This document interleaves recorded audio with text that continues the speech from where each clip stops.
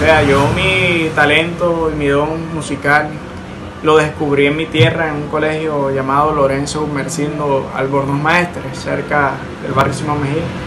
Lo me di cuenta de él un día que en el colegio nos mandaron a hacer unos versos, vallenatos.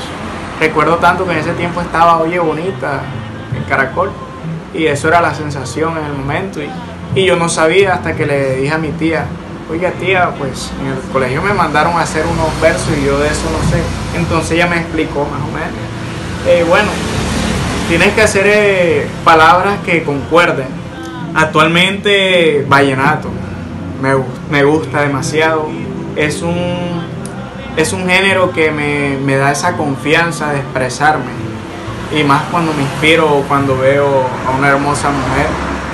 En la vida yo he visto demasiadas mujeres bonitas, pero siempre llega uno que te despierta esa sensación en tu ser. Me pueden seguir en Facebook como David Pérez, en Instagram como davidperez.com y en YouTube como David Pérez Revelación Vallenata.